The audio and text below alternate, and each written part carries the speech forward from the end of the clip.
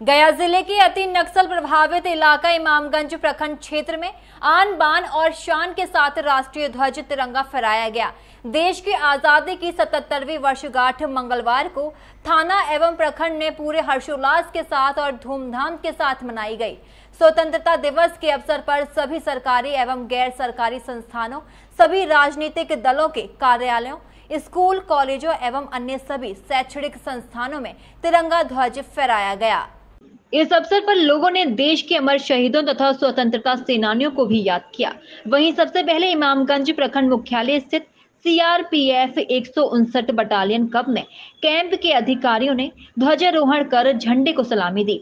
इसके बाद इमामगंज पुलिस अनुमंडल कार्यालय में एसडीपीओ मनोज राम ने झंडे को सलामी दी और देश के प्रति लोगों को संबोधित किया। इसके बाद प्रखंड कार्यालय इमामगंज थाना सीएचसी बीआरसी नगर पंचायत कार्यालय समेत अन्य सरकारी व गैर सरकारी संस्थानों में हर्षोल्लास के साथ ध्वजारोहण किया गया। इस अवसर पर कई शिक्षण संस्थानों में सांस्कृतिक कार्यक्रमों का भी आयोजन किया गया।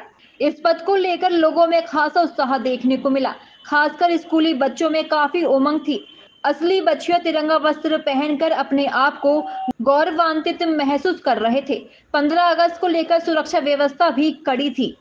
स्वतंत्रता दिवस की हार्दिक शुभकामनाएँ देंगे इमामगंज अनुमंडल के सभी वासियों को और उम्मीद करेंगे कि हर साल की भांति इस साल भी शांतिपूर्ण ढंग से लोग इस त्यौहार को एंजॉय करेंगे मनाएँगे और जो लोग मुख्य धारा से भटक के बाहर गए हुए हैं उनसे उम्मीद करेंगे हम आशा करेंगे जो लोग मुख्यधारा में कानूनी तरीके से आएँगे।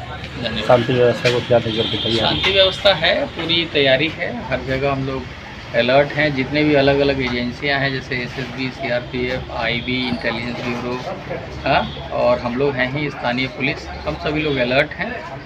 देखते हैं क्या होता है। इस दिवस को मीट मास के दुकानों को लेकर के क्या कुछ इस पे व्यवस्था अम, की मैं क्या कहूँगा इस पर जो हिसाब से आप लोग बात लीजिए